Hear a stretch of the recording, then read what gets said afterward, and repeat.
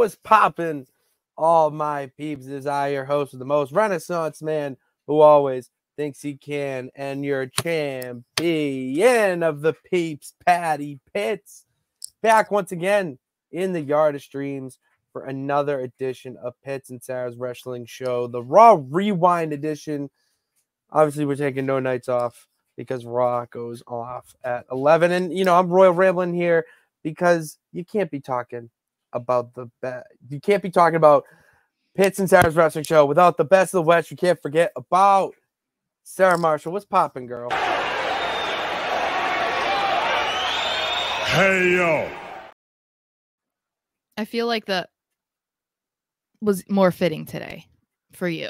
Like he was like, okay, Yeah, Finish up. like finish on. up. Yeah, like come on, let me up get here. out my line. Let me do my gimmick. I you know? just haven't. It's all systems go. I just feel like I've been on all day. I'm literally getting texts from everywhere. People ask me for things, things from the sea, and I'm just like, I can't do it. All right. I even try to rewatch Raw for the second time, skip through it to hit up, you know, the banners that we have, and uh, I I just couldn't even get through a match without someone texting me about something. So my stream went out before the main event. So I missed I missed the main event. Um all that's I fell asleep during the main event. Yeah, was, so it was that was tough. so yeah, so it was before no, actually it was I didn't even I didn't get to see Jey versus Finn either. Um so it went Oh. out before that. Yeah, the the stream that I had, the person's uh electricity went out. That is so tragic. So That is uh tragic. yeah. Um so Oh, yeah, I had to catch it when it showed here. Um so Yeah, I saw yeah. I mean I had already looked to see what happened because I was like, I can't not I've been, you know, two and a half hours invested into this show. So oh yeah. No, you gotta um, know what's find out what's going on. yeah. And but- goddamn, did they deliver again? Like it Mm. just is refreshing. It really is every week, and uh, it just every week we talk about this how it's oh it's newer and all this, but like Apparently people are sick of that, by the way. Yeah, they can go sit on it and spin. Okay, that's what I say because I can't I can't deal with those people who are never happy like that. I mean, just I, I don't want to go all all in it right now because we do have to say what's up to the peeps in the comment section. But god damn, Sara, like staying home on Mondays, no matter what age I was, to watch Raw live was always a struggle because one school and then two, it's like, you know what? I'll catch a DVR. I'm not talking about it with anyone at the lunch table, anyways. So I'll watch it by myself after school. But now, like, people are asking me about things, you know, when I, and I said it, I think, on Sunday. Um, but even at work, you know, people are asking me, like, all right, so who is this guy? You know, because there's a Gunther's theme song Mm. is um is actually I know you know this, but maybe the peeps don't. It, it's a famous you know classical song, the start of it at least before def rebel threw their own little shit on it. And I listen to it every morning, uh, right before I start doing my lists and stuff for the orders for the day. And he listened to it too, and I was talking about Gunther, and then he's interested in it now. So it's just like nice to have that wanting to watch and then go spread the good news essentially. and it's it's it's such an interesting debate i guess i think too because Eh, so many people are like oh professional wrestling is cool again or blah blah blah and the rock is crediting himself for that. I don't think it was the rock though. I think that like wwe has been hot before the rock came around you know earlier this It year. was. and so I think we're getting back to that time that I mean, and I only speak of it because it's the most relevant time or the most recent time that I would say that people were kind of like universally invested in wrestling. And that was the attitude era where people Mhm. were paying attention and the top stars in the company were stars beyond just the ring. You know what I Yeah. mean? Like people knew who The Rock and Stone Cold Steve Austin, Triple H, and whoever, like everyone knew who they were. And I kind of feel like we're getting back to that point where it's not really embarrassing or you don't feel embarrassed Yeah, I know what you mean. to say that you watch wrestling. You know, oh like man, I think we all still have that just because it's not because you're embarrassed about it necessarily, but it's because of the reaction that you get from people. Um, and I feel like we're at a point where it's like, yeah, whatever. Like, yeah, you watch wrestling, I that's love it. cool. Like, I Yeah. just saw that so and so it was there, or this happened. and, Yeah. Um, but yeah, I think that it's it's it's pretty cool that we're getting back to that point because uh, it's been a while. It's been a while. The only thing I I will add before we say what's up to the peeps is that you are right. The Rock didn't make it cool again because the wrestling people like you and I and everyone else were seeing that it was cool from who they had anyways. The Rock made it cool for the people that don't watch, like For the know, casual that maybe like grew up a wrestling fan and then stopped watching, or the people who are The Rock as an actor, so they're a fan of Dwayne Johnson. like, yeah, yeah I, it's just it, it feels kind of reminiscent and i'm not saying it's the same but like of the bella twins saying that they started the women's revolution like girl bye it's like kind of like no you're a piece of it you know what i mean but like with the rock yes. Like you were a piece of it you weren't the leading force you know, Mhm, um obviously the rock agreed. influential in the bellas i'm not saying that but it just felt similar because it's like no rock you came in at that time probably because it already was hot you know what i mean there's a reason why then the pivot happened because the the company has been so hot over the last like two years that they didn't Mhm. want to see you in the main event imagine Exactly. that if this were not a, like if people did not care about wrestling or weren't invested in it or whatever nobody would have been trying to say we don't want the rock we want cody rhodes that would not be happening so Yeah, everywhere. What's going on with the peeps here? What's uh what's up unhinged main event, bro? Uh rainy days. How about that Sami Zayn entrance? Damn right. That's what I want into the garden one day. Uh Jay, uh I'm pretty sure he did talk about the bloodline, just a heads Mhm. up. Uh and he said that he's Jimmy, like come to me or something. It was a well quote he on said he said i tried to get him to come with me but Okay. you know it's like it is what it is they're trying to introduce new members that no one even knows who they are blah blah blah but he was just basically like i don't care like i'm focused on my match whatever which i think was the right way to approach it because if they are going to eventually have them reunite and maybe it'll be the usos and roman as like the the babyface faction of the bloodline i think it's good to start off this way where Jey either is like kind of telling you how he feels about it, but like, ah, I don't care because if you just jump straight into him being like, "Come on, Jimmy, come back over here," it's like that's kind of a lame way very lame. to go about it, especially if Roman really doesn't come back until August. Because then why are we doing this in April? A lot of time to fill. Yeah. Way too much time to fill there. Bernard, what's popping, my dude? Oh, my he's been in here a little bit. Love Hey, that. hey. Love seeing that. We got D squared, David squared. Um and then we got uh Jay. Special event you think of where Civil War faction makes sense, feels all the factions setting internal conflict. Um Um, like NWO, Wolfpack, and other, but like, Yeah, that- it's- that's more just that's that's a. I feel like the problem that. that we've talked about before is that there are a lot of factions being created. I think it's like that's cool and it's not at the same time because it feels like you're just trying to get as many people on TV as possible and that's why you're creating factions but then you're not necessarily utilizing them in the right way. We've even said that about Judgment Day um where it was like what are we doing? Like what is going on here? I feel like as of right now the only one that makes sense is the bloodline because that's what it looks like right now. I think there is a potential for a Judgment Day internal conflict but again that's like not what you're asking.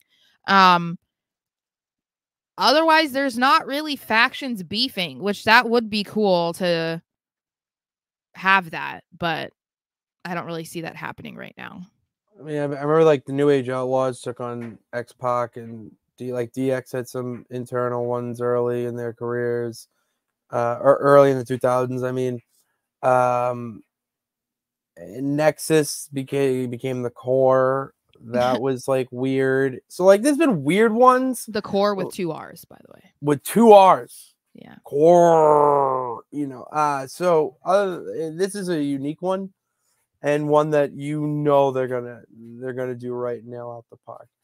Um so with that being said sarah what what what's popping what do we want to start the show with? Uh Rhea Ripley uh the news started spreading before the show even began that Rhea had allegedly suffered an injury during the week before. And so everyone was like, what happened? Though she was only out there talking and then had that little spat with Liv in the back. And apparently that is when the unfortunate accident happened to injure her shoulder when she was thrown into the wall. Apparently separated her shoulder, which I'm like, every time someone is announced to have separated their shoulder, I completely understand the pain they're going through because I have done that. I have subluxating shoulders. So you in, told me this shit's crazy. Yeah. So crazy. in certain, if I have my arms in like certain positions or whatever, like my shoulder will just pop out of socket. And um, depending on what I'm doing, I can just immediately just like fix it but one time i it's a weird story but i was like my my nephew was young and i was like trying to be funny and like make him laugh or whatever and i like ran and like belly flopped on an ottoman. And um my shoulder popped out of socket and was out of socket for like a good 10 seconds. And i was just like laying there in so much pain and it was weeks until my shoulder didn't feel like that's so painful. So obviously that's just from me you know, my own actions. That's just me. Just leading to, well, I mean, it's like I broke my foot doing literally nothing. I turned around on my tippy toes and I broke a bone in my foot. So it's like I have, yeah, there's something. You're weird. you're a gentle soul. Apparently, we're, we're, hearing. Um. So, unfortunately, Rhea had to come out and start the show to vacate her championship because of that shoulder. And it's ranging from four to six weeks as a possibility for her to come back up to three months. Obviously, it depends. Others who have had separated shoulders were out way longer than three months. So it really just depends on the severity of her injury, mm. which I would assume, I would like to believe isn't too bad, just given the circumstances of how it happened. She wasn't in the ring. She didn't then continue on in a match. It was just like a fluky thing. You were thrown up against a wall the right way or the wrong way, however you want to look at it. And it separated her shoulder. So it just sucked. I think it was just like a universal reaction where people were just like, really? Really? Like the timing couldn't be worse, I think. It could not be worse because that that mania match and the high that she was riding heading into this, I would say, new season mm. is that it was so good and the the possibilities were endless. And it's just when I saw her come out, usually when uh, Superstar has to vacate the title, they they put on a face. You know what mm-hmm. I mean? They mm-hmm. put on a face for the crowd and they try to say we're gonna be we're gonna get through this together and not with Rhea. Uh, Rhea was that was one of the most stone cold. I don't want to say evil because it's not the right word, but angry, She's pissed off. Pissed yeah. off. There yeah. it is. committed. yeah. And you know, you could see that in her face when she came out, and even when she started talking. I mean, for when she goes, um I guess you've already heard the news, like all that. Like she's cutting right to the chase. You know, she's not trying to build it up or anything like that. And then going right into, you know, the Liv thing, I thought it was just a good way to kind of let that anger mm-hmm. out. Where if it's kayfabe or not, you know, you got to let that aggression out somehow. And, and I think it's a great way not only to do that, but now you already have a, a feud implemented as soon as she comes back. So yeah. even though she's gone for a bit, she knows what she's doing when she gets 100% healthy again. I think this was almost like it's one of those situations where it ended up working out in someone's favor. You know, like what we said about the CM Punk injury um, at Royal Rumble. It ended up working out for the better for the storyline between like Drew and Seth and whatever mm. for the World Heavyweight title at Mania. This is like the best case scenario, I would say, for Liv because I think, uh, you know, they haven't known how to book her basically since she lost the championship, which is ridiculous. Um, because it was such a big moment for her to have won Money in the Bank, to have beaten Ronda Rousey, and then she just went on this like boring-ish title run and they didn't do anything with her. Then she's gone, you know, she's been injured like a couple times since then and she was just gone for 6 months. And they bring her back and it's like, okay, the vision is clear, but they were also kind of trying to make her a baby face and it's like you kind of can't be a baby face against Rhea because she's on the teeter totter. She's a tweener. Exactly. She's both. She and really we is that was the epitome of what we saw last night. It was a double turn, basically, because Rhea's out there and everyone is so supportive of her. They're so sad to see her go, but you shouldn't be, right? Because she's the like leader of the Judgment Day. You're supposed to hate her. And then you have Liv come out to celebrate and like gloat. Hey, ha ha ha! Like, look what happened to you karma is a bee, you know, and they were booing the crap out of her.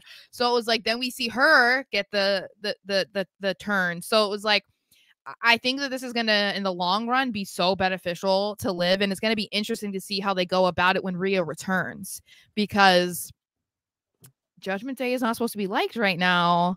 But no, if she returns not. and she's supposed to be feuding with a heel Liv Morgan, then you kind of can't bring her back as a heel. No. no, but then again, it's she toes that line. A lot of what she's doing is very similar to Drew and his, you know, revenge tour and whatnot and mm-hmm. glory. And what I see with with Liv in this, and I refer- referencing, I mean, um, the backstage interview that she had. I mean, she raised some valid points. Yeah. And this is why, and, and this kind of led to this hashtag being on Twitter and me being uh, not on mommy's side on this because I'm all about this. I'm all about Liv having her own little revenge tour because Rhea put her on the shelf for eight months. You know, if we're gonna let's let's go more in front of the curtain. Uh, Rhea took her out for eight months. You know what mm-hmm. I mean? And then for Liv to come back and you know do this, it's you know great way to not only throw her up in the ranks and throw her up in a championship picture, give her a little bit of a run, and then when she comes back, Rhea comes back, you have them feud, and then Rhea can just take over where she left off. And yeah. Liv Morgan got a little run. Maybe they do a little trilogy of sorts, and Liv picks up the first one, Mommy picks up the second. And you know, you could do stuff like that where you know, it's not like it's the worst thing in the world and this is gonna kill Rhea and you know, she's not going to go back to the status that she was. No, this actually is a, a good thing and a blessing in disguise. Let me say that. It's a blessing in disguise because it's not only going to work out for Liv to get that reign that she deserves, but in the long run, I mean, could you imagine that feud now that Rhea and Liv are going to have when she comes back? Yeah, I think that's going to be good. And I think this is kind of the the way it should have gone because I know that people are like, "Oh, Liv should have had the Mania match with Rhea instead of Becky." I wasn't sure that I necessarily agreed just because yeah. Liv had been on for so long and people had been wanting to see Becky versus Rhea. But I feel like this is this makes more sense for them. Like this is a good base of their feud like on like we have already saw the foundation because of Liv's anger about being put on the shelf, but now this is just like adding more and more and more. So it's just going to be so much easier. And I think this is the way that they should go about trying to make Liv a hated heel. Oh my god, like absolutely. it's so easy. It usually is easy. Historically, it's been easy to make someone a heel when they took someone out that everyone loved. I mean, look at Drew McIntyre. Like Oh my god. Why do you think? I mean, other than the fact that he's doing fantastic work, it's like it was like handing him a gold bar by being like, okay, Punk's injured, now use that, you know? And it's like, okay, that's it. easy for people to hate him. So um I would say as far as whose side I'm on, I'm like, I don't, I'm not on a side. I, yeah, I, I don't. You're not playing the game. No, because I like gonna... them both. And so I'm just happy that this is like this has the potential to be a really good storyline right now, all the way for however long that Rhea's out until Rhea comes back and then they kick it off. Like that makes me happy because you know, when it comes to the women's division, especially when something like this happens, and we see it unfortunately way too often with them having to vacate titles. There's no plan in place beforehand. Like even when they mm-hmm. know that someone's going to vacate, there's nothing happening when they're gone. There's no plans for when they're back. So mm-hmm. I'm I'm hoping that we're going to go about this in a different way. And then we found out instead of having some sort of tournament or whatever that they're basically going to be awarding a new champion next week on Raw. So we don't know how they're going to go about it. Hopefully it's not a battle royal. Let's hope that. Um Imagine if it's just a slap in the face like a black battle royal. I would like to believe it's going to be like a triple threat or like a fatal four way or something. Like they're just going to take like the four. But the thing, I don't think it's going to be two on two. Only you mean no, no, no, no, no, no, no, no. Two fatal fours or two triple threats, and then the winners Oh, will face in the main event. maybe, yeah. Um, We know. but I. I'm like, I was thinking about it because people are saying like, okay, who should be the champion in the meantime? Because there's quite a few different ways that you can go about it. So the assumption is Rhea didn't lose the title, so you don't you you believe that whenever she's able to come back that they're going to want to give her the title back like not necessarily right away but fairly quickly because she didn't lose the championship. In fact she actually just put on a really good match with Becky at WrestleMania and a week later she had to vacate it. So um if we're keeping Rhea tied to this and there's a lot of girls that could be in there we could have Liv Morgan who feels like the easiest and like most predictable but she's got a history with Nia Jax. She's got a history with Becky Lynch, who is not taking time off, which she clarified because she will be in Europe on this next tour. Um, but then there's other people that are in the back too that it's like, okay, well, what if they threw us a wild card? Like, what if they're trying to legitimize a girl? What if they want to uh, you know, make them have another heel champion? So that's why they give it to to Nia. What if they want to put it on someone like Natalya? People are throwing that out there just to like the Wow. boats. You know what I mean? Um, I haven't heard Natalya. I did. I saw some people say that. But in my Okay. eyes, I feel like yeah, the top 3 it has to be Becky, Nia or Liv, but to me I feel like Liv just makes the most sense and there's more storyline there. If it's only raw people, I assume it's only raw and that's what the reason why they're Yeah. trying to name the champion next week is because the draft is like on Friday. It's this Um, Friday. I believe so, isn't it? The 26th? Next Friday. That's I, next am talking about next Friday. Yeah. Ah, Um yeah, so I would say I, I mean, I yeah, I feel like it's got to be Liv, right? it's only Liv. I, I, we, it, it- we are. It's only Liv. Okay, I can't see them doing any other other way because it just doesn't make sense. I, I seeing a lot of people want Shayna, and that's great. She does deserve it, but you got to remember she's got Zoey Stark with her, and they need to do Mm. something with the women's tag division, which they looks like they're doing something uh, with them and that division, getting them up and whatnot. So it's not her.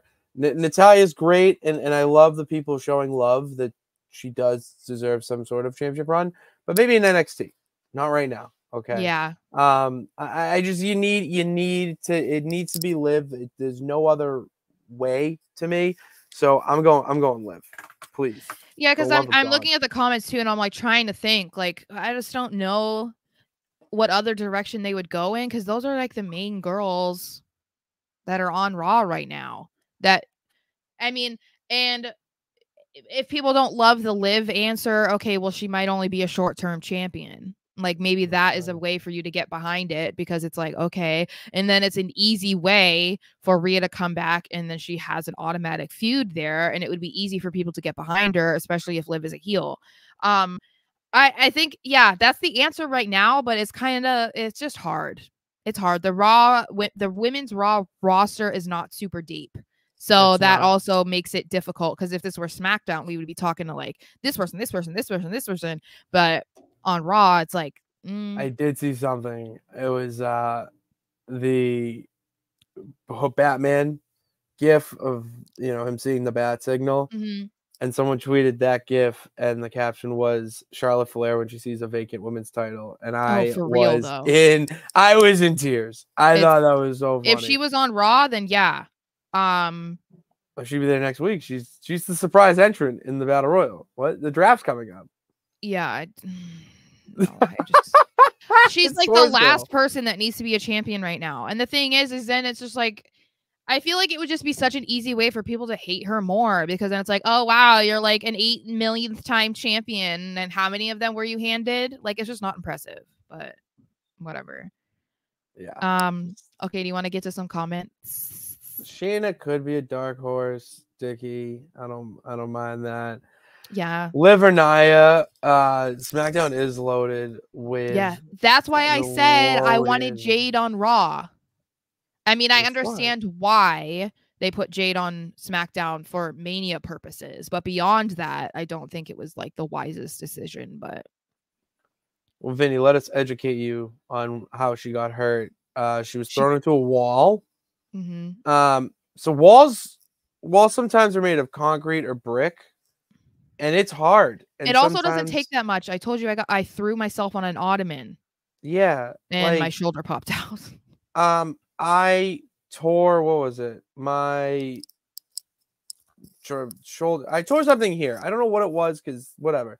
Um, had to go to physical therapy. All I did was move a table, and it, it was a um like backyard table, like stone and big, and Mhm. um, and it tore part of my um, not rotator cuff, maybe a rotator cuff, but it's something similar like that. So like freak things happen, and we're just saying these as civil, you know, part of the regular people. We're just normal people, and that Mhm. happened, you know. So for them to do that, like free things happen, um, and it wasn't on purpose. Let me get to some more here. Um, oh, Dickie agreeing with me that um, we could see. I love that. She's Mhm. my favorite too, Vinny. I love Liv Morgan. Um, and then okay, more comments there. All right, moving on. Oh, well, I, I do want to show some love to where is where is it? Yeah, me too, Aston. Um, I was very upset for Rhea. It, Yeah. shouldn't- it shouldn't have happened, but ooh, one day.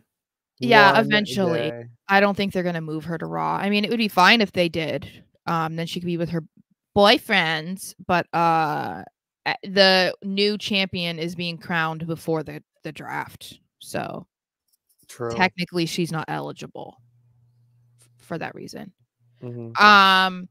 All right, so then we move on to Sheamus returns after being gone for eight months, and boy was looking thick. uh, Thickums, he but was a good thick thick. boy with two C's. He was being a thick boy. It's funny because that was like the dominant conversation talking about Sheamus returning. And I think he didn't help himself because it was like he came back, wasn't in his typical shape, which is fine, but then he wore the shorts. So that was like drawing attention to it. You know what I mean? Like yeah. he didn't come out how people remember him. So I was, it's like everyone was like, oh, he's thick. And people are floating the idea that he's like bulking right now. And we'll see the cut soon. I'm like, but doesn't that not make sense? Like, wouldn't you want to wait until you, you cut it? bulk. No, yeah, you bulk and in the winter. Well, and you but but even if you were doing it just for a show, like wouldn't you want to wait until you cut to come back? Like I just think that like yeah, he's older. He was injured and probably couldn't work out the same. Some people were saying he couldn't take the same stuff as he had normally did. I don't know. That's just what people Oh. were saying. I just was like, people are going way too in. I was like, I just noticed he was a thick boy, and this was a meaty man, meaty man match. Okay? it was a very meaty men match, especially when you have Ivar. I know. Uh, and Ivar liked some of my tweets. He liked the what way. I- He's awesome. He I likes know. us. Yeah, and Samantha Irvin followed me. Um, yeah, I'm jealous of that. Shout out Samantha Irvin. I know, Well like, deserved. our last YouTube shorts is about how Samantha is the bomb. So like I just thought that was funny because I mean, maybe she checked you out. and Was like, oh, she. no, I know why she followed me. Um someone someone was talking to me and then they tagged her and they were like, "What do you think of Samantha?" and they tagged her and they're like, "Do you think that she's the greatest ever, like even better than the Fink?" And I was like, "Oh my gosh, I love Samantha. I think that she's definitely well on her way to being the greatest ever." And so I think that's why she Well on followed our me. way. Um, but anyway, back to Sheamus. So Sheamus returned after being gone for eight months, and it's funny because they put him on Raw, but he had been on SmackDown. I'm pretty Too sure. many limes. Was that the song that they were Oh, playing? Yeah, it was okay. So here, okay. Was it the beginning and then they played like the o- the new beginning and then they put that? I didn't Yes, even- I didn't even I missed it until I was like tuning it. I was like on my phone or you know whatever, and I heard that and I go, "Wait, are they playing that right now?"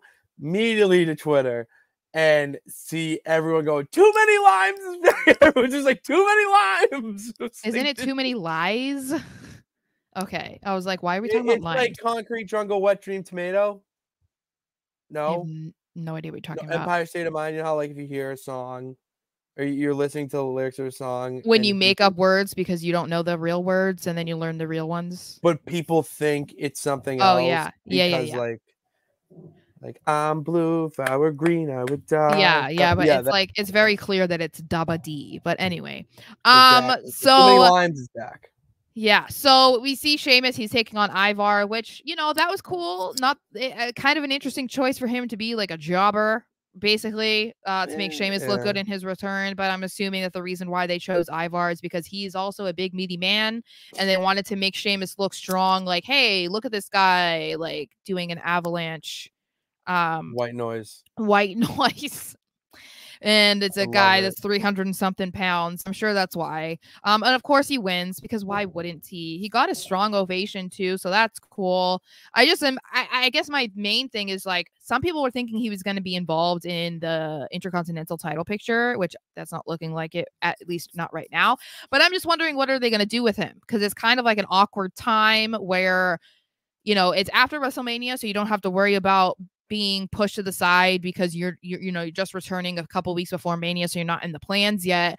But there's still backlash, so that's going to kind of typically historically it has been to tie up those loose ends resulting still from mania so i'm Mhm. just curious like what are they going to do with Sheamus this time around I think he'll float in with like that McIntyre, like Mm, that type of crowd right now. And then I mean you have him with Ivar, like he'll he'll be an upper mid card guy that just is used to have good matches and push guys. Like I just don't see him in a massive role right now, especially just coming back from injury.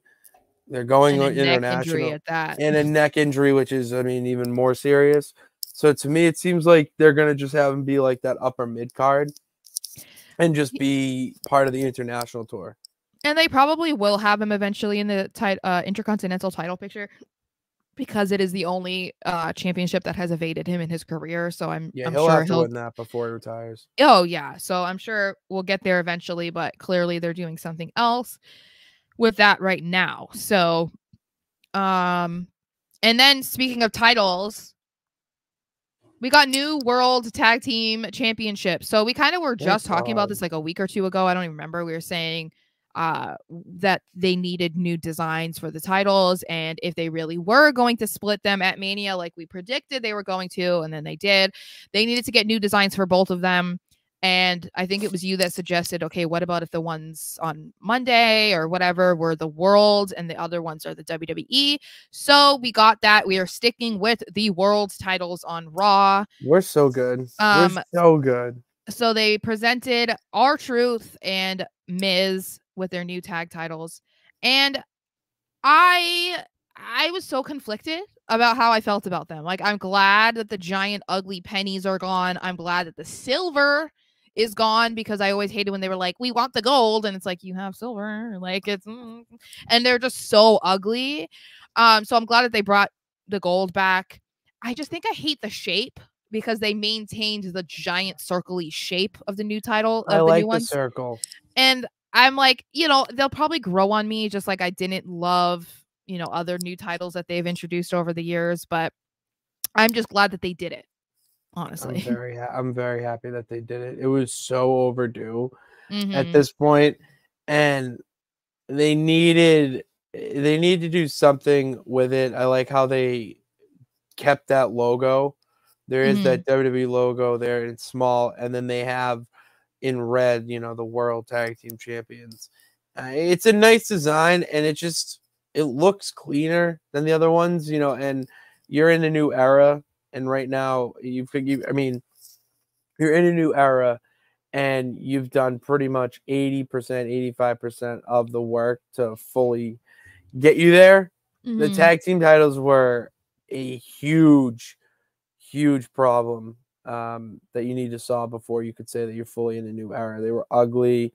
People just kept thinking about the old era and keep kept having that in.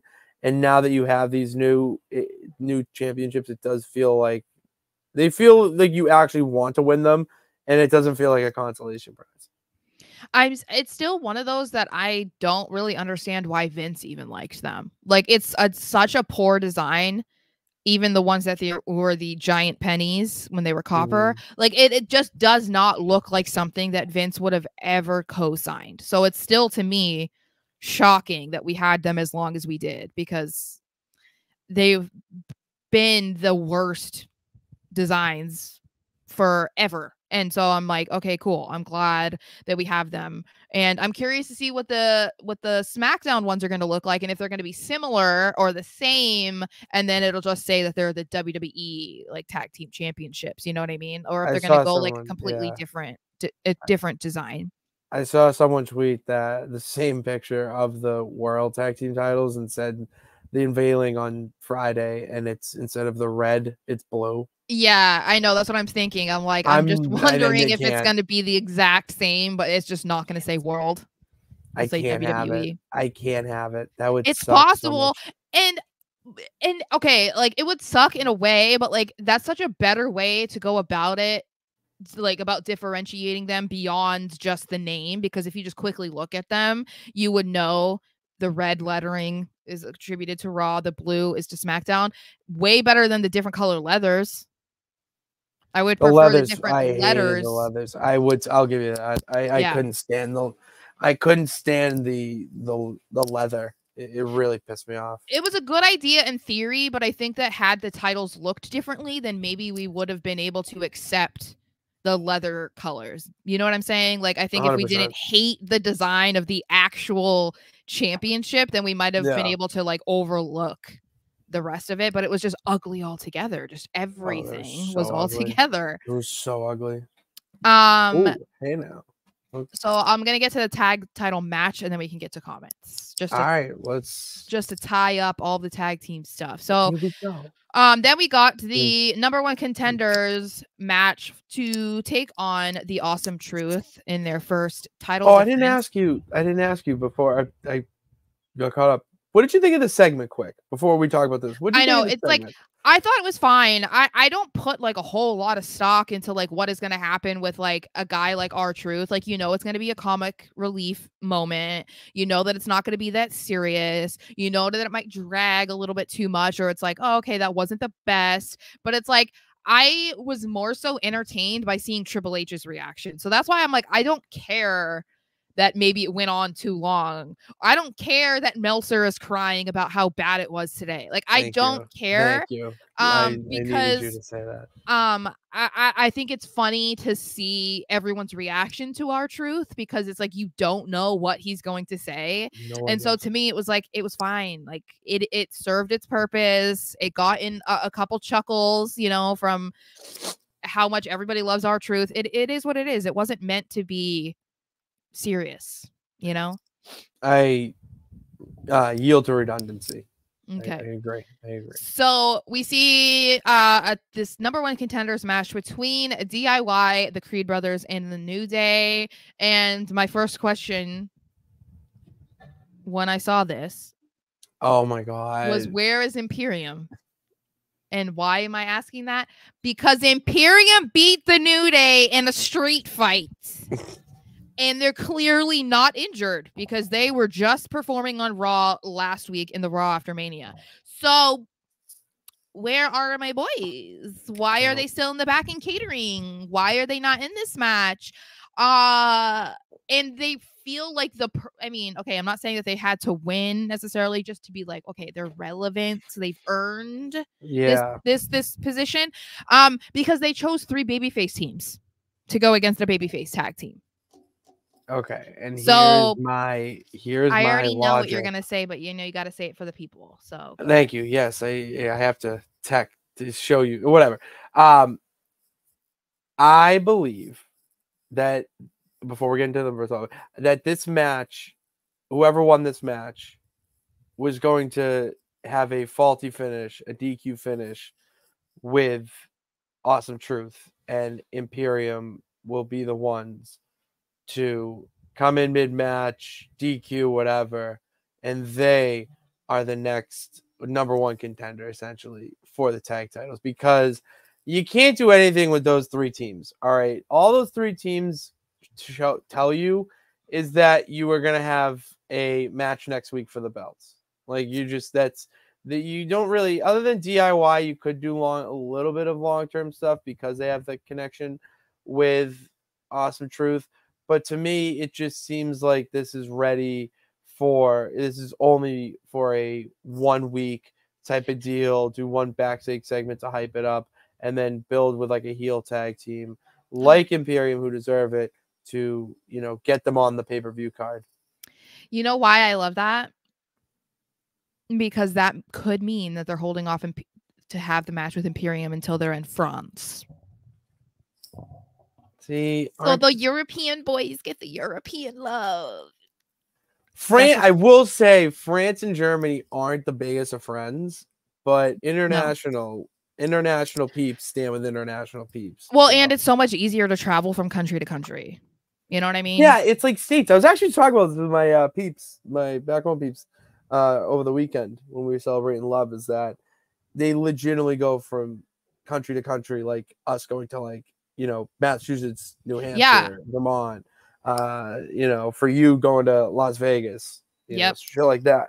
I know, It's isn't that crazy? I know it's kind of jelly. insane. I'm jelly, but um, yeah. gotta get that So this match was good. So uh, besides the Imperium thing, that like I said, I can get behind it if uh if they end up putting them in at Backlash. And Richard said, uh, Imperium lost clean to Sammy and Gable last week. They deserve to be in the triple threat. Yeah, because that wasn't for a tag team, anything tag team. Okay, they Yeah, they lost to Sammy and Gable. That's Gate Sammy and Gable story, not Imperium's. Come on. Well, and and uh the new they beat the New Day. Why did the New Day keep getting put in these the? New Day got beat in a street fight by Imperium. Yeah, we will not let you forget that. Hell, I won't. Uh, Never. Okay. So we see this match, and of course, it was incredible. It was a good match. It was a tag team match. These three guys are amazing. They go out there like it's the last time that are ever going to be able to put on a match. So it was good. We see DIY win, which I love. I think they were the right choice. Um, Not the a lot of no, um, because. Well, because we'll what hap- get there. What happened at the end? We're gonna um, get there. Yeah, I like DIY because um I think they're still trying to build them obviously and I think there are a lot of people who really wanted to see them win at Mania. So I think this is kind of a way to cater to them like okay Yeah. because I mean, I don't really anticipate Awesome Truth to be champions for that long. I feel like it was to be like okay, we want to split the titles. One team needs to be from SmackDown so those titles stay there. The other ones are on Raw why not give R-Truth that moment at WrestleMania because he's hot right now? Why not do, give them the nostalgia factor of awesome truth? So I think that's kind of what it is, but I don't really know that they're going to be champions for like months and months. Like, No. would I be shocked if they lost them next week on Raw? Absolutely not.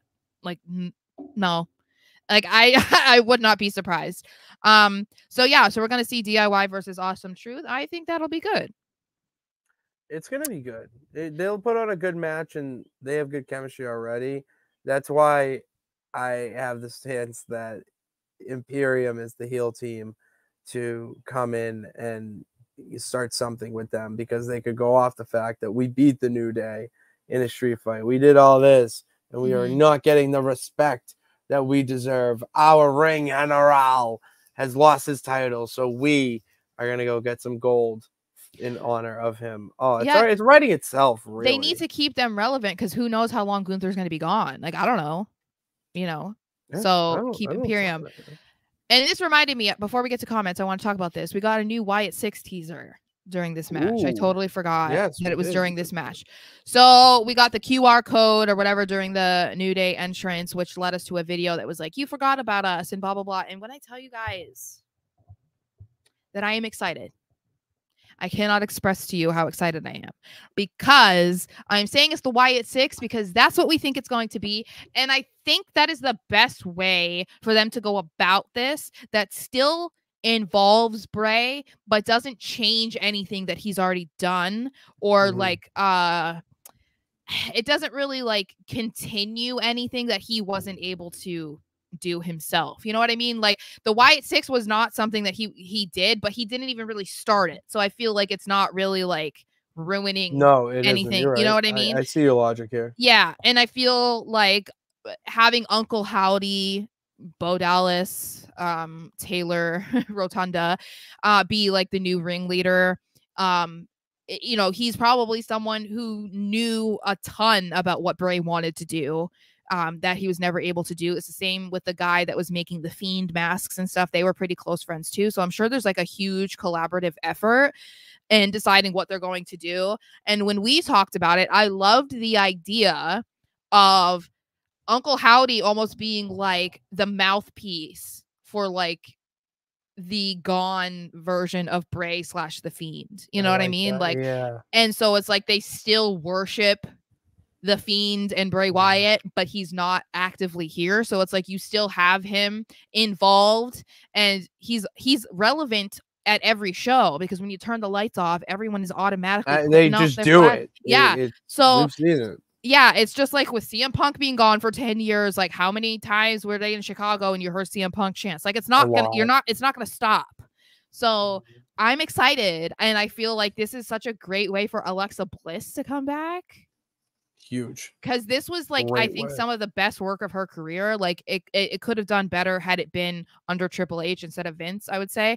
But yeah, bring her in, and then it's like who else? Because then there's all these rumors about Eric Rowan coming back that he canceled some of his upcoming dates, indie dates, so that could be cool.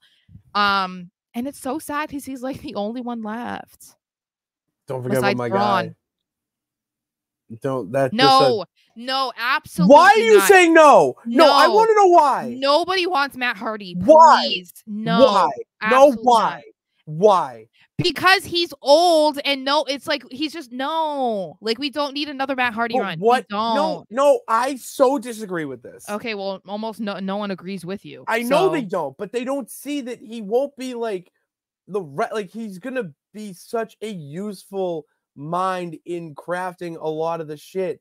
Like Matt Hardy created the broken universe. Matt Hardy created while Bray was doing this in WWE under the Vince regime. Matt Hardy was doing this for Impact, and it was so well done and so different from whatever anyone else was seeing. That mind is so valuable in this process that, and he's at the point now where he doesn't like want to be big, you know, in front of it and all that. Like he just wants to be part of like it needs to be part of it. I don't know. I- I, am for it. I I, think I'm he's- so against anyone. He still wants to wrestle, dude. There's no he's not trying to take a backstage know. Role. Terrible. Because nobody wants to see 50 year old Matt Hardy wrestle. That's the thing. He's nearing it. Stop. So is Finn Balor. Does Finn Balor Oh. perform like Matt Hardy? Um. No. Matt Hardy He, was can he in- stand up without bowing his legs? Okay. Yeah. well, also, can we talk about how Matt Hardy's finisher for a thousand years was a super leg drop? So yeah, if you can't walk, uh, just So then maybe You you, shouldn't be wrestling no. if you you can't get guys no, you guys just don't get it. No. Don't know ball. No, that's rude.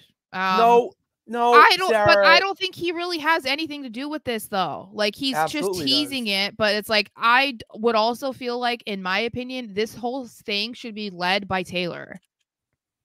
We don't just throw Matt Hardy in there and be like, "Let you lead it. You do a collaborative effort with Taylor with his fucking brother. You take it over, Matt." Like that would be messed up. I never said for No. him to take take it over. You said that I he he'd should be able to have like an influence in the story making and whatever. and influence. That I don't means know. I'm- creative. yes, absolutely. I'm not should. into it. That's I- because no, Matt Hardy is like one of your favorite wrestlers, so that's why you want it. Ah, and I have actually listened to his shit. I am a big That's fan. wha- all right? that's great. I just I don't agree. I don't think You're that we so- need. I don't think we need him in this. I feel like I disagree. it would be better to utilize the people that you have. He's a free agent. Well, they don't have him, so Mm, Yet. yeah, I don't think we need him. I just I'm not not into it. Um, are you guys hating on Finn? Do not. Are we hating on Finn? Really? No, they're talking about something else. I was gonna be like, do not I even was about to say, compare I'm like, to Matt? Hardy. Do not do it. Oh Um, wow! Look no, we don't I started. We don't want Jeff either. Okay. no, I, love- can't deal with Jeff. I love Jeff Hardy, but I Jeff Hardy's one of my all-time favorite wrestlers, but I do not want him stepping into another ring right now because I just don't know that it's best for his health. Honestly, his overall overall well-being. I don't know. I just want Matt Hardy to be included in the Bray Wyatt story. That's it. Okay, do you want to get to some comments? Uh, Katie Mar- oh, the not the right one, but um, uh, I remember being so mad JBL blew up. This. Me too, man. I was so pissed. Why think I got it? I resurrected it, you know, on the third day. Um, thank you. We got one. Yes, yes. That's a peep right there. There we go. good boy. Um, Mr. Anderson, this is rude. This is just rude. Most people think that though. I know, but I am not like most people. I think that it. I I'm don't mind champion. him as like a backstage voice or whatever. I feel like he could be good, but I feel like he's getting to that Jericho point where it's like, okay, dude, we probably No. need to like hang it up. That's like, what. That's what. just because you can doesn't mean you should. But he comes back and he's like the backstage voice, like a Bobby Roode type of thing, or even a Pete Dunay. Pete Dunay's producing speed. So Well, yeah, but that's not, he's also performing like so that's what i mean like i i don't know i don't know if, if he had like some sort i just don't know about his actual relationship with bray wyatt because a lot of the time people try to and i'm not saying that this is what it is i don't know the history of the relationship. I don't know if they were actually super close. I don't know. But i'm saying a lot of the time when someone passes people like to like try and rewrite how close they actually were to that person who passed and they try to make it seem like they were really close and really great friends and they talked all the time and it's like mostly just because they're trying to like get they- clout like in attention off of like oh you were friends with somebody who passed away you know what i'm saying? Like i don't know if that's what matt is doing or if they were actually like super close and talked all the time and like shared like ideas about stories and stuff like if that's what it is then sure be a collaborative They thing but if it really is just like i want to be in this because i had fun feuding with him when i was in wwe like no, they were legit. I- they were, they were friends. saying, I, I don't know I know. I know. And they were friends and they were very close and whatnot. So that's why he absolutely should be in it. Uh yeah, okay. So um then we move on to rate was wrong, please. um Indy Hartwell. It looks like she is coming to the dark side. Um as her and Candice LeRae had a match against Ivy Nile and Maxxine Dupri, who apparently was paying homage to the Bella twins. Your Um, favorite wrestlers, Sarah. Yeah, don't even get me started because friggin' Nikki was like, I almost wanted to call Tony Khan to go to AEW. When after I saw that Mercedes Moné went there and she was talking about how she wanted to bring the women's revolution to every company, I was like, oh my god, I need to call Tony. Khan and return to wrestling. And it was like, bitch, no one wants that.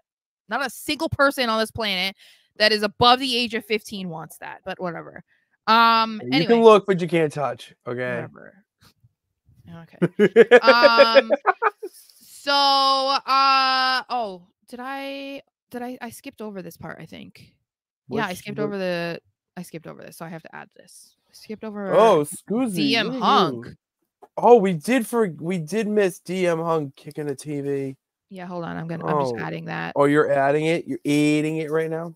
yeah are you gonna keep asking me what i'm doing or are we doing play by play is that what we're doing now I did. I I You play by play. Okay, I, no, that was one of my traits in college. Okay, I don't like I don't like it. Okay, so it looks like Indy Hartwell is joining the dark side with Candice LeRae in their match against Ivy Nile and Maxxine Dupri. So uh she Indy gets involved in doing the shenanigans behind the referee's back, which um helps Candice get the win and uh kind of seems to at least temporarily repair their relationship because when they were making their entrance together, Candice had no interests in doing their little hand thing, their hand hug or whatever they do. Um, and that really threw Indy off. So I I mean, uh, I'm like 50 50 on this. It's like I'm interested because it is a different storyline. It is something in the tag team division, and they don't tend to really do anything with the women's tag team division. And I feel like this is a little bit interesting because we haven't seen them as a heel, either of them as heels. Um, I'm just kind of also like, eh, because they just keep going up against Maxxine and Ivy, and it's like I don't care about this. Like I don't, I'm not interested in that part. So, Yeah, um, if they could that. not have a 15th match with them next week, then that would be ideal. I I am becoming a fan of this little weekly or bi-weekly segment that we get with this because you get to see Maxxine Dupri, her progress in the ring, and that's the story that we're we're trying to tell right now. And Ivy Nile, like, do you just need to have them on television and get them Yeah. ready. As for Indy and Candice, you need more heels on your roster. there are no heels I know. on the Raw roster. How do you do this? Well, little shit like this. And Candice has been incredible in this new heel role and really very just, you could tell she's just had it with all the, you know, happy go lucky, I'm in la la land type of uh, mentality that we're all having. And then Mhm. Indy, you know, we haven't seen her really be a heel. And for her to not, or to help out, I mean, and not do things the right way, like we got some, we got some nice storytelling. We get some good, like in things that are investing. Like you want to be invested in a little bit. Uh, it's nice to see that. I just want to see them continue down this path against like a more legitimate team. You know what I mean? And not against the two girls that are the most inexperienced on the roster, you know, and you're like taking advantage of the fact that like Maxxine sucks. You know what I mean? It's like I how how uh, uh how legitimate are you if you're winning and like pulling shenanigans against two girls that like don't have that much experience in the ring. You know what I mean? Like if we want to take you seriously, then I think you need to go against some more I don't know, bet like better Well, tag who? teams. Who? Uh, Who? um Who? well, aren't Kayden and Katana on there? Like, or uh, what if they have a tag team championship match against Damage CTRL? I'm just saying, like, I, they they something. fought last night. They fought against Miss Chelsea Green. I know. I Um, love them. I see, this is love also what. I'm saying. Longer than three minutes and against different people. So, um, yeah. So then, as I said, because I forgot about DM Hunk, I can't even believe it. It's because he was on for only a split second. That disappointed me because I want to see my boo. So Drew was just in the back and he was being interviewed, basically just Trying to be Uh, interviewed. yeah about uh you know what has happened to him from Mania and Punk's involvement and ruining his short championship title run and then making sure that he did not become the number one contender and uh surprisingly DM Hunk is just laughing but it was like maniacally laughing like I'm It was it was sadistic. It was sadistic for sure. so then he kicks Yeah. a monitor and he leaves without saying anything so I was really bummed because I was like, let me see you, baby, on TV. And that's not what we got. So that's all. That's all I got. Um, and you know, it's fine because you, you don't want to see him overly use the whole CM Punk thing because clearly he wasn't there. Um, and if they want to continue that, then they couldn't last night because he wasn't there. Um, Mhm. but the things that are starting to worry me is that he is reportedly only signed for like five to six more weeks. So Oh, yeah. that's what makes me really nervous because then people are talking about like, oh, he's not even gonna, you know, be in the title picture. Or he's not gonna leave Clash of the Castle with the title, blah blah blah blah blah. And I'm just like, you guys like I feel like everyone wants to come for Triple H for dropping the ball with Okada or dropping the ball with Ospreay, and it's like, oh my god, you couldn't get them. If he drops the ball by not keeping Drew McIntyre, that I think is way worse. Way worse. Way I don't- I don't foresee it being a thing though. So I this is the thing. I'm trying I like don't. I'm trying to pay attention to what's going on with all the news insiders and the people who are usually like, you know, they have credible sources or whatever. I'm trying to listen to them and take that in. So I'm not going into this blind. So if it did happen, it's not like, oh, oh, I didn't know that this was going to happen. Oh my God.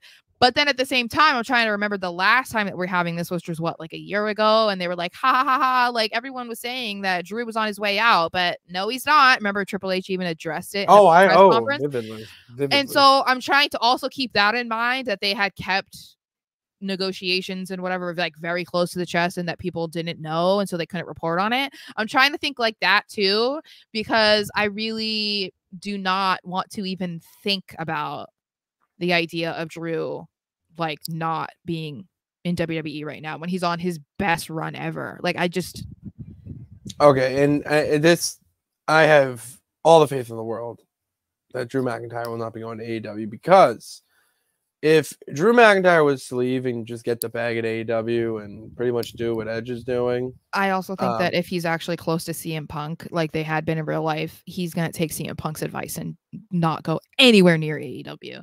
But he would probably go back to TNA. I think is the problem. your best feuds are the ones that you have with your friends. Mm -hmm. Just gonna throw that throw that sentence out there. You can chew it up, peeps, and digest that all you want. Um, but your best feuds are the ones you have with your best friends. So after that sentence has been said, if he was to go to AEW and just get the bag, and just sit and whatever. Like, who is he gonna fight? He's gonna be on collision. You know that, right?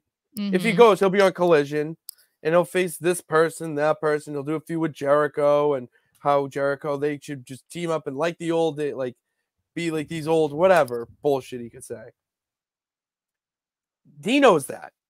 So why is he gonna do that where he could legitimately go on probably the best run of his entire career and just stay in WWE and work with probably some of the best uh, minds in all of professional wrestling. So I don't See, I think it's more about what WWE is willing to offer him is what the problem is. I think that is what could potentially make him leave. I don't think it has anything to do with like money. I think it's more so about what are you planning for me? Am I going to be world champion? Are you going to keep having me do all this other stuff but not reward me? Like, you know what I'm saying? I think that will be more like that would be the basis of why he would leave. If they were like, yeah, no, we're gonna keep Damian here, and then when Punk comes back, he's gonna be champion or whatever. You know what I'm saying? Like, I feel like that would be more of it because I think that WWE is like they're, they're making so much money right now. They there's no reason for them to lowball a guy like Drew. Like, no pay the man. not.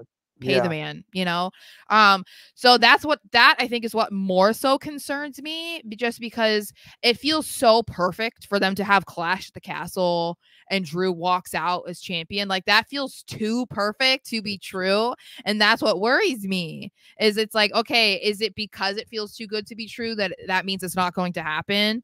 Um i don't know so i uh, that's why i'm trying to just be like aware of all of the possibilities and like if he does leave and he goes back to tna or something like i'll support him there but i just feel like so bad like you cannot lose drew mcintyre right now And then that also would impact having like this legendary feud with CM Punk. Like you cannot have everybody get invested in this for then Drew to be like, you know, do his summer of punk thing where he leaves. Like you can't you can't tease this for months and then it's be yeah, and then you just have to kind of stop it because oh well Drew's not coming back. It's like it's probably it's your fault that he's not coming back. It's not going to be Drew's decision. It's going to be your decision. You don't want to pay him the money. That's and they're they're going Yeah. to. I- I hope so. Uh, Vinny makes a good. Um, they got Swerve, and it's really this last uh sentence here of the comment that gets me. They got Swerve. Swerve is the future. Swerve is the next champion and deserves a lengthy title run with the championship. If Drew goes over there, he's not beating Swerve, and then he's going to get relegated down to Rampage and Collision.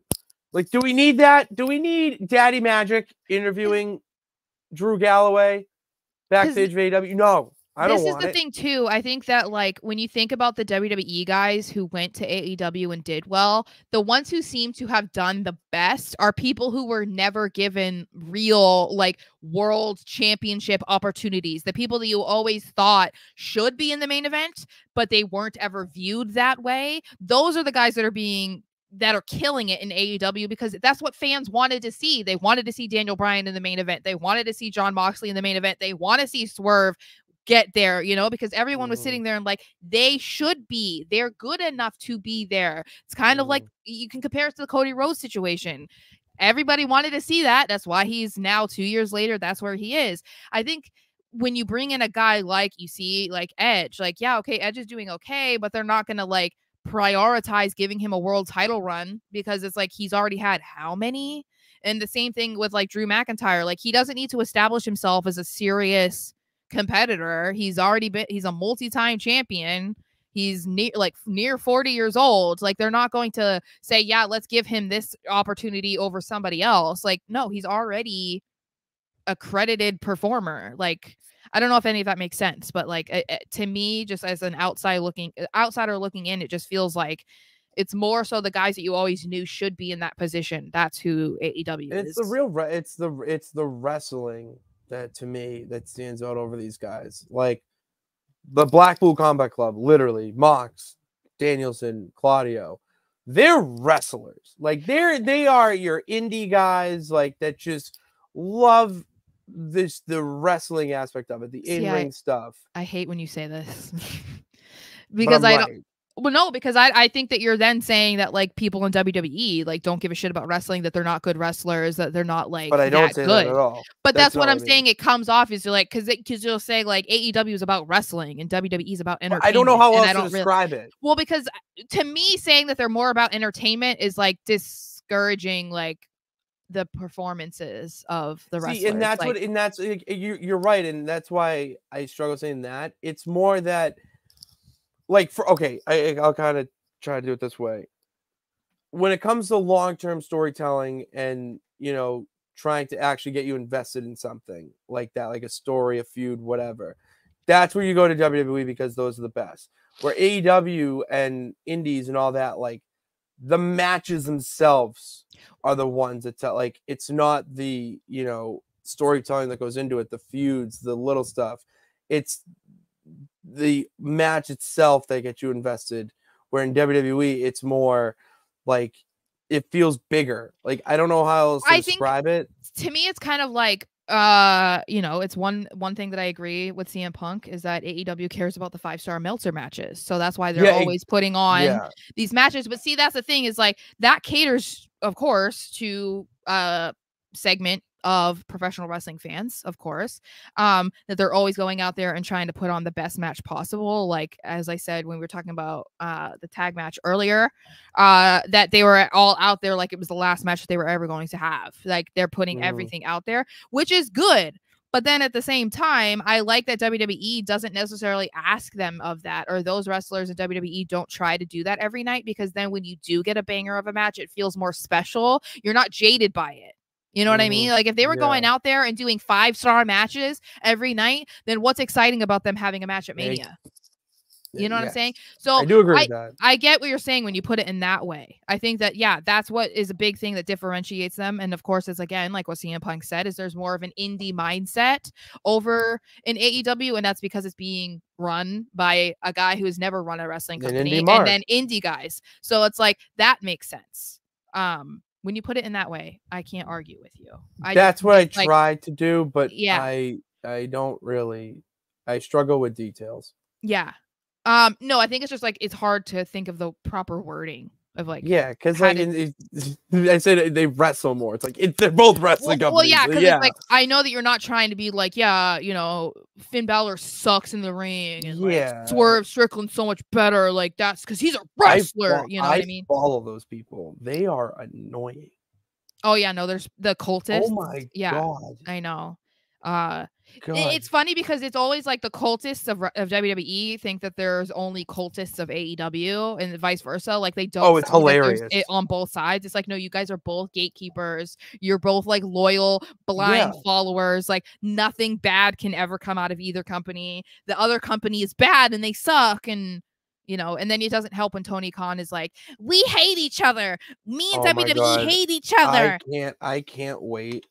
I cannot wait for the Thursday show because I read Tony's comments about if the all out footage should have been um released and oh my I there's not enough time. We have stuff actual stuff that we have to talk about But Mhm. goddamn, I need to go on a little bit of a rant there because that was so Mark Zuckerberg robotic. I Shiv- couldn't. Shivani too was being dumb. Don't I and I love Shivani. I know, but I like, love Shivani. I'm like, you're really trying to save your ass. That's that why you're like pissed that. me off. I'm like, just be, just be real. Like you thought it was stupid. You weren't like in, God, you I weren't in character, bro. Like stop. five things that make them similar.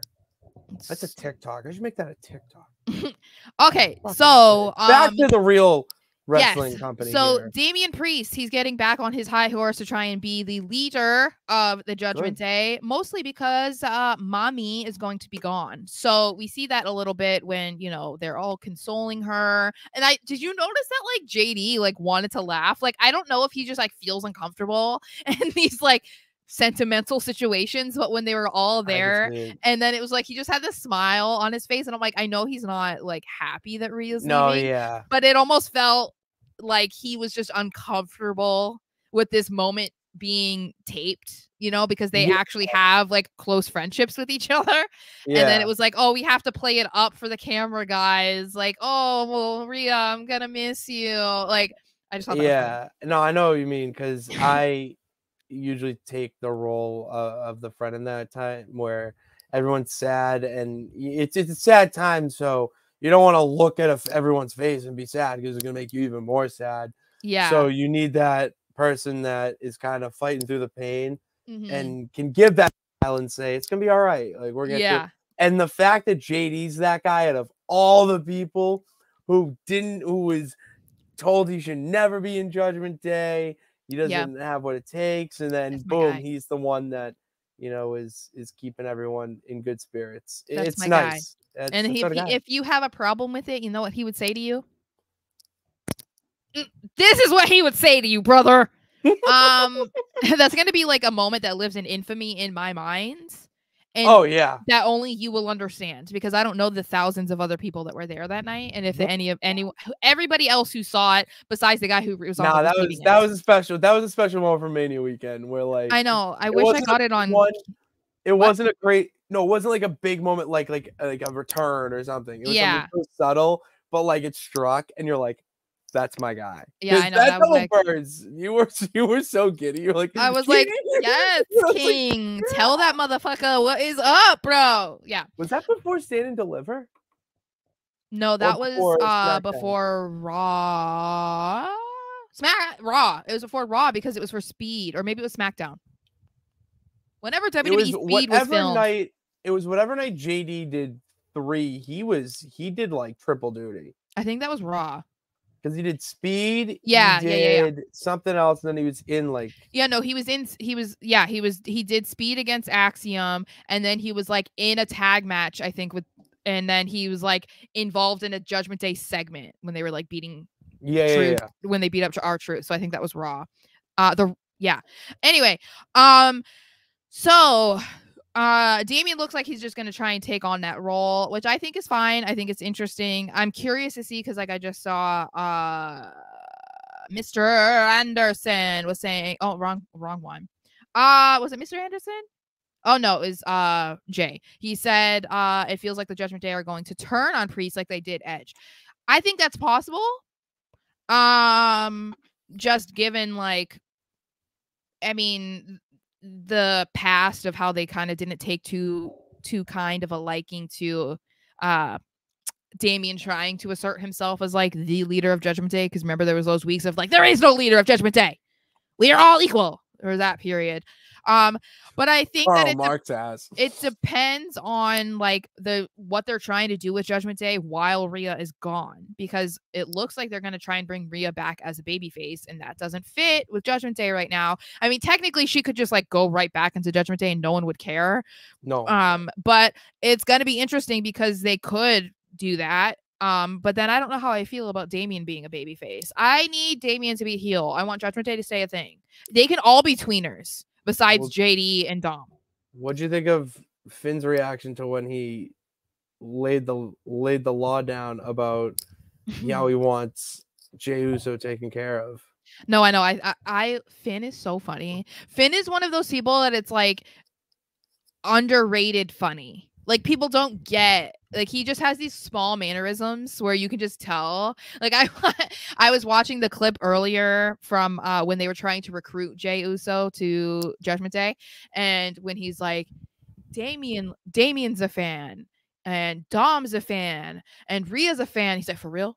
And he's like, for real, like that. Like, like yeah, like- like, you to the back and forth banter, yeah, like these little things that like Finn does is just funny. And so to me, it was like you knew that he was like it, it seemed he was internally pissed, but then he was like, I like it, you know, like like, okay, you know. So to me, I love it. And that's why I'm like, I, I need Finn to be I, I need this to stay together. Just why please. why not have together. Finn go for the Intercontinental? I mean Judgment Day wins gold. We don't need to focus on the tag titles because that's Dom and JD's job. Well, that I your think could be people have thinking are thinking that there could be some groundwork being placed there to have some drama between Damian and Finn because it was like he was like, Nope, we're not gonna focus on the tag titles because why would he? He's world champion. yeah, he's world champ. with No, you know, so he doesn't care. Like he doesn't care that you don't have a title. But I also am in the mindset of I don't think that Damian's gonna be champion for very long. And as much as I love Damian, I want Drew to be champion coming out of Clash of the Castle. So I don't want him to be champion for very long, which means I don't really want to see him versus Finn at this no, I point. don't. because all either. yeah, I want to see Damian lose to Drew because I want Drew to leave Scotland as champion. So that's like it's it's it's hard because I wanted to see, you know, like Finn as world champion and then have a feud with Damian, and now it's the opposite. And I'm like, ah, the timing is off. The timing is not so off. desirable. Um, That's life. That's life. I know that's uh, Finn is going to be jealous probably. Uh, I know. I, I I would love to see Finn get like a proper title run. I just don't think. I don't know if we're ever gonna get it. we Um, will. that would be great. That would It be is great. the Triple H era. Anything's possible. I know, I know. It's just unfortunate because I still feel like he could have won it from Seth. But whatever. We're not going back like eight months. Um. Anyway, so then we do see Andrade versus Dom Dom, and I don't have a whole lot to say about this match because it's like, okay, cool. Like you're here, like I that's all I am representing the LWO for my hero and my scenario, and Dom Dom is like, I hate my dad, and so that's why we're having a match. Um. So I hate my dad. yeah, I'm basically what my it dad. is. He's a deadbeat, bro. Um, didn't you Oh, see what I did to him? oh, So oh. the only thing I really wanted to talk about is uh Dom Dom hitting a Canadian destroyer on the apron. Uh, Canada. yeah. Canada. Um, I'm obsessed with the Canadian Destroyer, as any peep who has been following us enough knows, and it's it's got to a point where it can be a little bit watered down, especially in the other company when we're just hitting back to back Canadian Destroyers, not Mhm. protecting uh, the finish itself. But uh, the the apron one is so goddamn good. He Yeah. should have got the win after that. I agree, Jay, but um, it was smart how he just laid on the ape like the floor, all that. So if you want to go into that nitty gritty, whatever. But I love this move and the fact that Dom could pull it off. That's just that's that's you can you can ball. You can he's ball come so far. So far. He's come so far, and the only reason why he could even do something like this is because he's in a match with Andrade.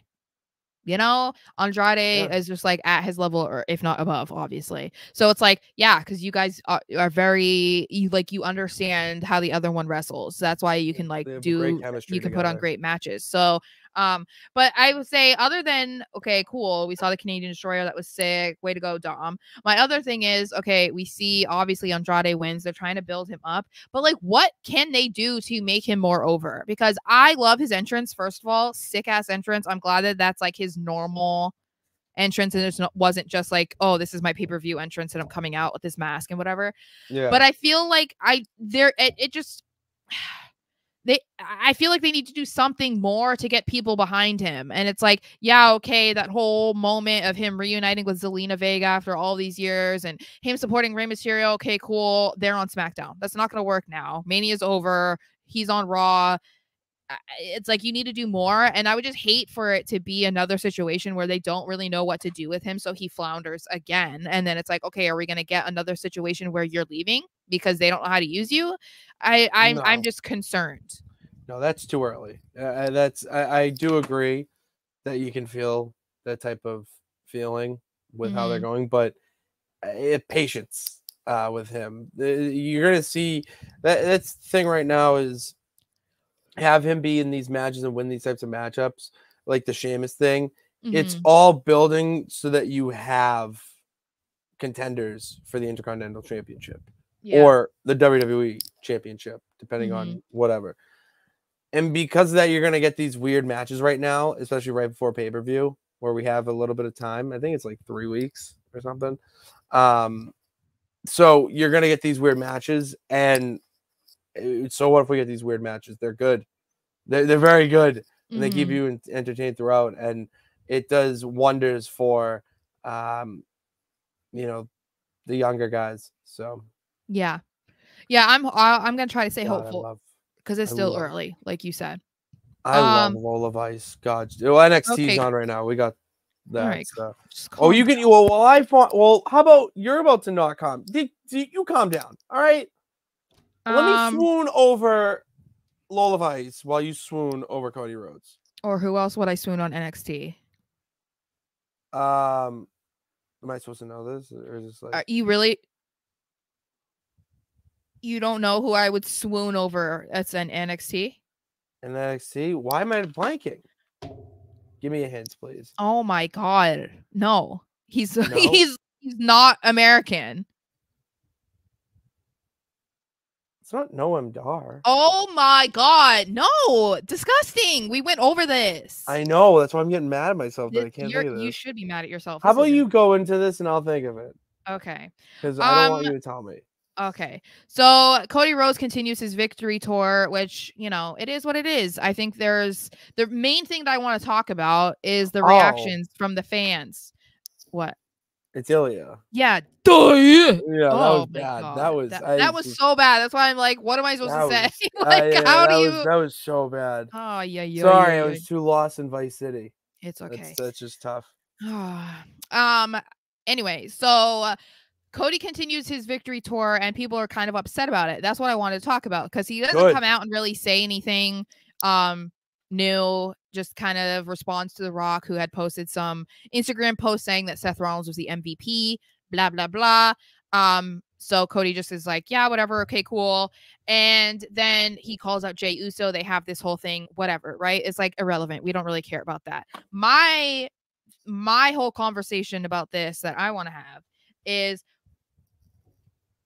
I was even arguing with one of my like Twitter friends who was saying like, "Oh my god, I can't believe how Cody carries his his belt. Like this is so embarrassing. He has absolutely no aura.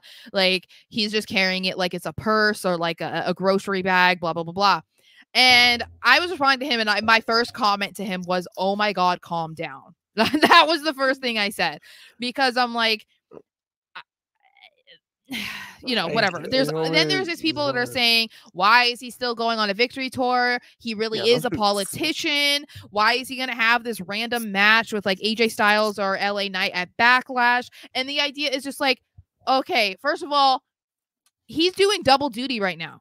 Okay, you're complaining that he's around too much. The irony, the absolute Oh, the irony. absolute irony is Yeah. you fickle, you Yeah. fickle pickles. Yes. And then you're mad that he's going to have a match for th- with the title on the line at the next pay-per-view that he's going to be around for with a person who's not Roman Reigns despite the fact that Roman Reigns is not here. Please explain to me what else he's supposed to do Yeah, if it's not have a new match for the title against a person that earned their contendership through a like attorney. Please explain. I, I, um, I can't. I, I really have no other no reasoning for it. Um, and the the the the complaints about how he holds the title. First of all, someone put side by side picture of Dusty holding the title like that. thank so, you, somebody. So, next next person are- who does it, but also, say it. so many people at home do not understand how heavy these belts are. Like you do not understand how much that title weighs. Probably 15 to 20 pounds. Okay. So you probably have no idea. And the only reason I know is because I had to hold your stupid spinner belt multiple Oh, times. and that thing is heavy and it's not even the WWE championship belt. You know what I mean? Uh, it's like- yeah, and people are also like disregarding i think how massive the undisputed championship is it's fucking huge. humongous so it's not something that's going to be comfortable to wear on your shoulder for very long it's not going to be comfortable and most guys do not want to walk around with the title around their waist for very long that's not the ideal I situation didn't. either. I, it, it got So- really it got really annoying at some points. and also the complaints about an aura. How much aura is a baby face supposed to have, guys? How much Well- aura? How much aura did John Cena have at the height of you suck, Cena? Cena sucks. Please tell me how much aura that man had that you guys felt was like. mwah, mwah. I'm You know? sorry. I'm, I'm not laughing at you. And as soon as you're talking about Cody and going on this like all this, who's the first page that pops up on my screen is fucking Cody Rhodes. Is he on NXT? Yeah, it was a it was like something to make a wish. Oh, but like oh, it, okay. it was the commercial right before. yeah, the- and it, literally Cody Rhodes is the first face yeah. that pops up. Um, yeah, dude. Like this man is the face of the company, and when you're the face of the company, you hold your title like this sometimes. Like Okay, because you hold it because it's a belt, it's a championship, it's a trophy. yeah, What do we do with trophy? We don't wear our trophies sometimes. And come on, guys, No. you're complaining about something that you couldn't even complain about Roman. Roman was too famous to even hold his own damn belt. He had Paul Heyman carrying it. Like you, you're not saying anything about how Roman carried it because he never did. Yeah, like sometimes. And when he did, it was for two minutes before a match. You know what I mean? Like, come on, well, brother. he's got to he's got to in with two minutes for the match, he's got to show show up like that. Like, Yeah, I'm not gonna so lie, that- Sara. Doing this right now, kind of heavy. Okay, kind Yeah. kind kind of heavy. So that's what I mean. It's like, eh, Oh my god, you I think- fickle fickle pickles. well, and I feel like most of the people that are complaining, and I even said this to my Twitter friend, like, I he was a Roman guy, so like I, and he said that that has nothing to do with it, and I'm like, I, I- I'm sure um, in your mind it doesn't, but I, I think it more than likely is that you're still probably a little upset because like I was fired their butthurt. I just don't. I, I just can't imagine getting that bothered over something like, oh my god, I can't stand the way Cody Rhodes holds the oh championship. like my God, day is ruined. Like, what are we doing? I legitimately cannot stand the people that are complaining even the slightest It's about just what Cody's doing because it's so ridiculous it to the is. point where you're actually just nitpicking Yes. because you have the attention span of a fruit fly on cocaine and you don't know how to actually enjoy something for more than five seconds.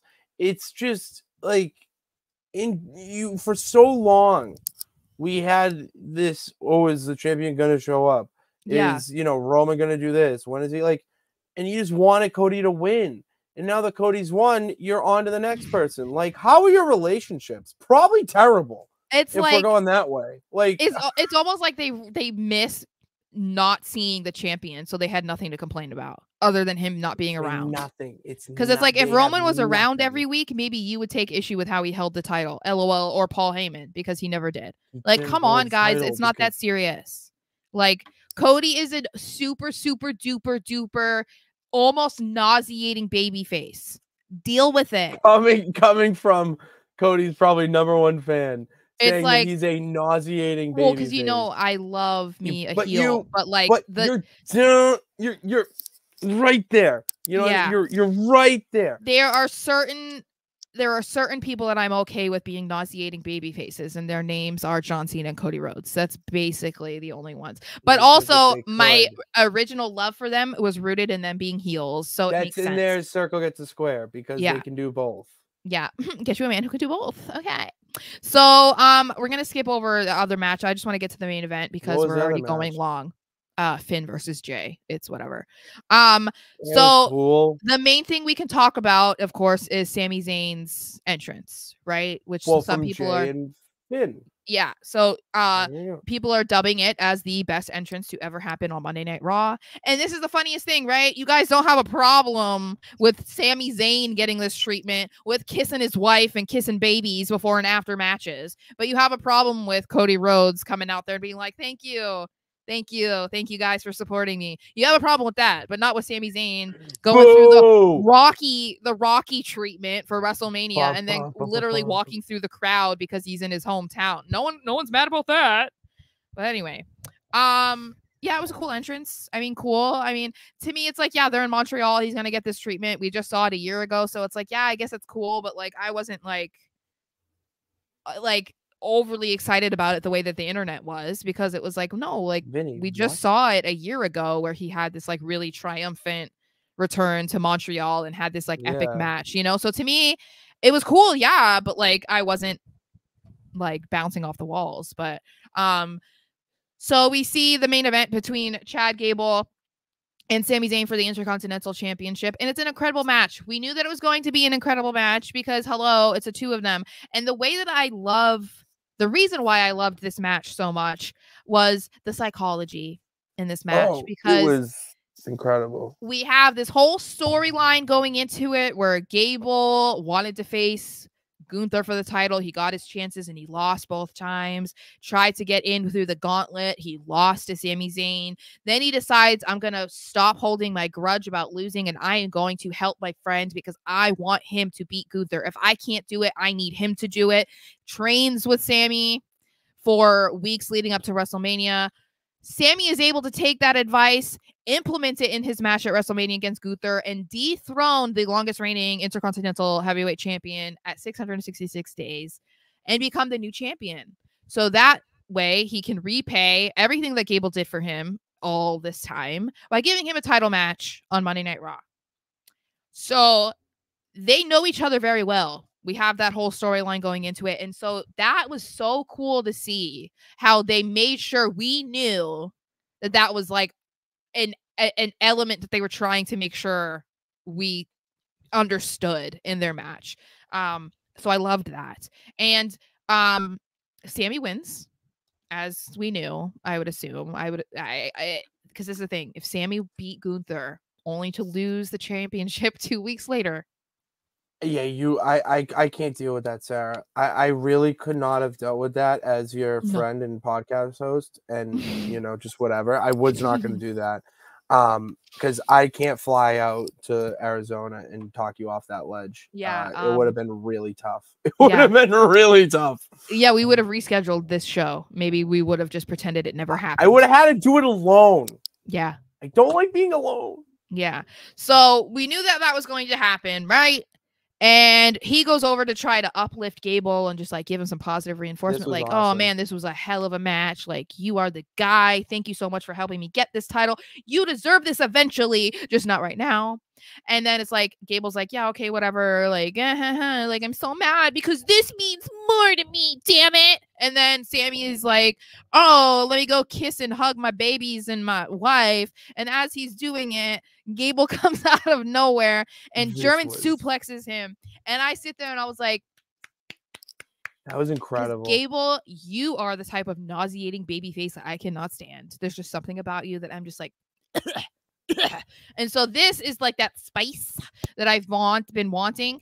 And we predicted this a couple weeks ago when we were saying the only way that I could see this happening is I think that we talked about it maybe in the gauntlet match or something, or that he was going to interfere and make sure that Gunther retained or something. I forget in what scenario we were saying that this was going to happen, but we were going to say that Gable was going to be mad that Sami got that opportunity that he felt like he deserved because it means more to him.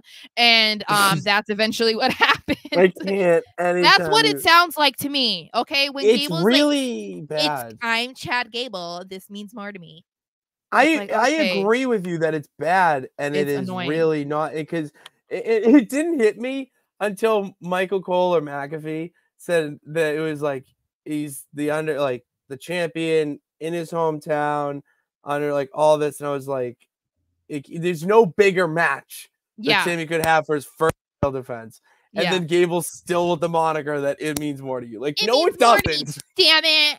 Oh like, my it god. means a lot to you, but it doesn't mean more to you. And yeah. the fact that he, the moment that his turn happens, is Sami hugging his wife. I don't think his kid was there, but I think his No. wife.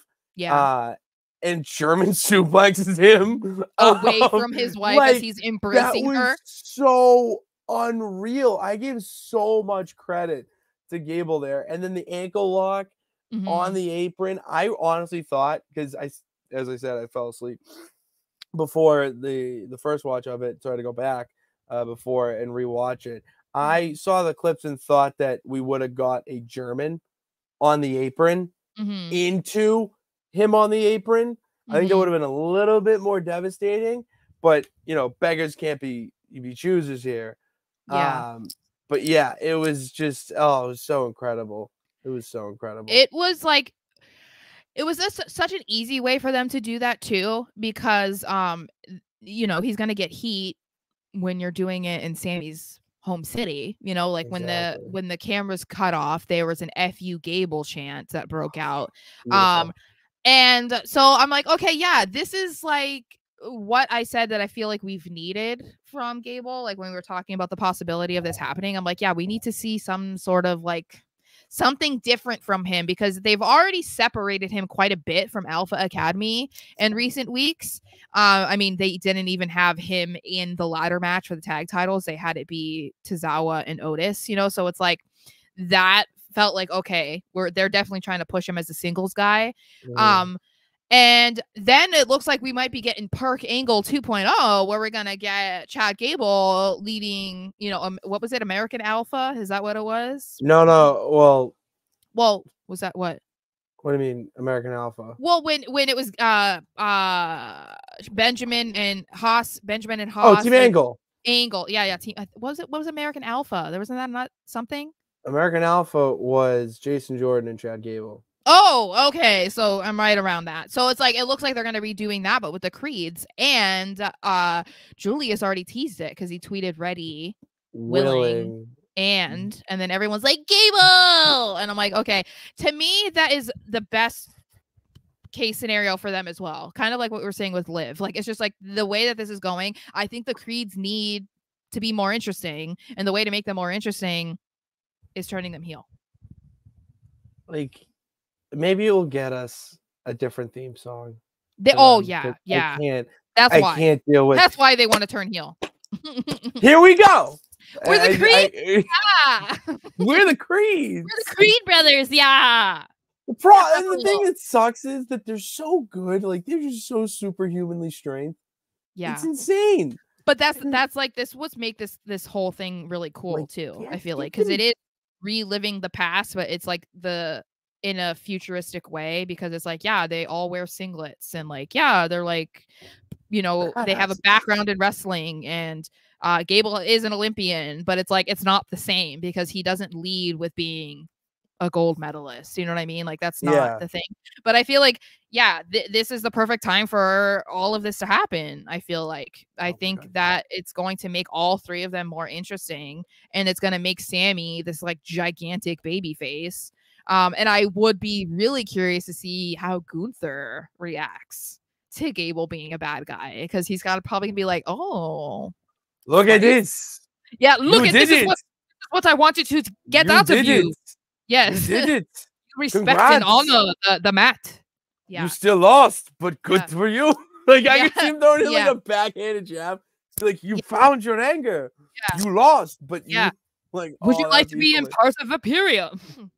and make Oh. you guys can replace them. They are I losers. need perk Gable though. Like Yeah. that's I I don't I don't know how to like, Minus the perk. whatever has to get him there. Okay. well, I, don't want anyone see- addicted to a medication, but okay. Yeah, I'm not saying let's get him addicted to perks here. Okay. I, that's why Um, I said minus the perk. I just want the aggression. I don't care how you get there. I just want the aggression. Aggression. Aggression. I need it. I, I need it. I'm feeding it. And goddamn, that would cook. Like that would just cook because Yeah. he's so good. Mm-hmm. Oh look, TL. So, um, anyway, yeah, that was raw. That was Raw, and we got NXT on right now. Excuse me. Great. It was a solid episode. Yeah. Oh no, and I need to calm down about Lola Vice and whatnot. Okay. Kane Rise with a shout out Limp Bizkit Patty Pitts. I do I look better or the same as Fred Durst? That's it's the just real one question. of those days. What? Oh yeah. wake up. I think I listened to that song today. Uh, Everything is. Everybody sucks. You don't Uh, know why, Cody but you want to is- justify ripping someone's head off. Uh, Um, Cody is still a face of the company, obviously. Um, yeah, uh, I, don't just want to tell you, I'm, we're two weeks removed from someone telling me that Cody wasn't the face of the company. So uh, if you don't remember it, go back and watch it. It was absolutely iconic. Uh, it was. I it wish was that we could have like filmed that conversation because so people could just hear how absurd it was. Just, like, Oh, it was. That was without a doubt the worst conversation we had in Philly when it came to wrestling. yeah, and uh, I, I could down. sniff out the chick was a biatch from a Oh mile my! away. She didn't smile in the Cody Rhodes photo. No, but she also was just nasty. She got a nasty vibe. How do you not smile in a picture with Cody Rhodes? How do you see beautiful, bleached haired Cody Rhodes, who is so beautiful in person and very tan? Really and you're just like- good looking dude. I know he's Like, got beautiful eyes. Come on, stop it right now. He is built like a Greek god. I'm just Yeah, kidding. He's is. not, but you know, he's still a good looking dude. Obviously, there's that clip from when he was dashing. He was like, I was voted the most attractive male superstar in all of WWE. It's like, yes, you were. Damn right Yes, you you were. were. Yeah. But anyway. And five star Raw, better. That's a great way to end it here.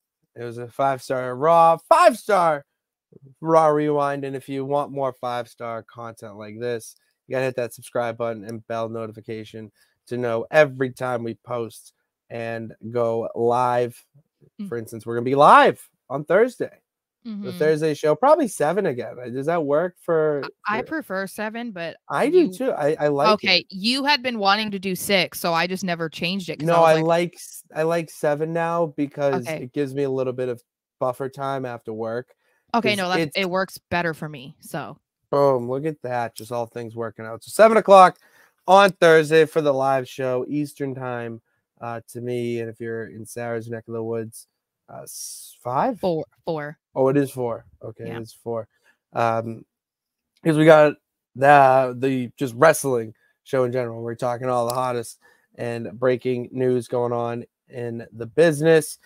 And for all takes about that, we'll just go and follow the social media links in the description below. I posted a video promoting today's stream on my Instagram, Pittsy35. I'll even give you the name right now, Pittsy35. I'm doing more videos, Sara. I, I, I saw you post a I'm picture. trying to post more. Yeah. Yeah, I, you know, because we we want to get you know our face out there and have that flow come right back in here. And it's tough because you don't want to, but you just sometimes got to, and then the results come in. Um, so I'm doing more of that. I'm tweeting a little bit more. I'm wondering if you tweet on Threads or I said tweet on Threads. That's an oxymoron. But get into Threads, whatever it is. Point is, all the links down there. Go follow it and tell me which you use so that I can keep in contact with my peeps. And we'll see you on Thursday for the Thursday show. It's time to play some cart with the peeps and tune into NXT. So until Thursday, thank you guys for tuning in. God bless. Remember that you can do it. All you got to do is try. Oh, we got confetti. Yeah.